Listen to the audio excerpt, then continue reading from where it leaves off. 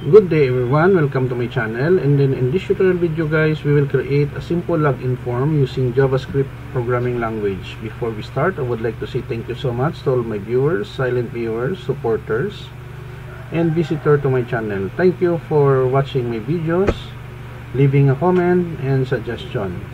If you like this video, please hit the like button. Don't forget to share and please support my channel guys by clicking the subscribe button. So let's get started. So we have here uh, doc html tag head and then the title here simple login form using javascript. Basically this program is a simple login no? that will check for valid username and password of the user. So we have here style body. So we have uh, we will just talk about the walk walkthrough no, of the code no uh, don't worry because I will put a link in the video description where you can download the complete source code for free no? No extra cost. So form header 2 header 4 input input button button hover message details. So uh, body header 2 simple login form using javascript created by yours truly Jake R. Pomperada MIT MIT and then here we are asking the username that will be stored in a variable text username. And then we have here asking for the password. Okay text password division class hide. The details here. And then here the, uh, the code on the script.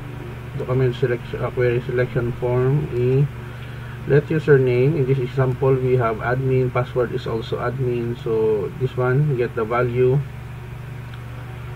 of the username and the password in the text box above no? So checking for username and password if it is not correct username and password does not match please try again. If it is valid it will display this message success you're currently logged in.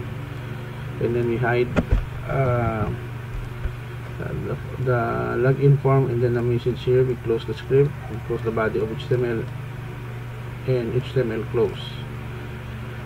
Okay. So let us go with output.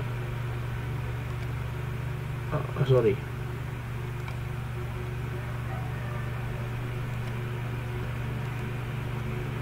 Okay sorry for okay the program is running. Let's say we have wrong username and password don't save. Username password does not match. Please try again. Okay. Wrong password again and username. Try again. Don't save. If we have the valid username and password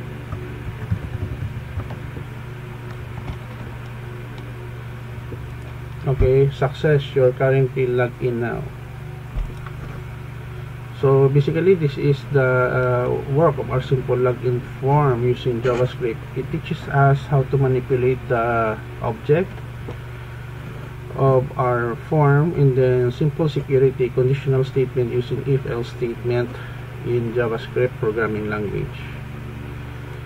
Okay so this is the end of our tutorial video guys. I hope that you have learned in this tutorial video on how to create simple login form using javascript programming language. Thank you so much guys for watching.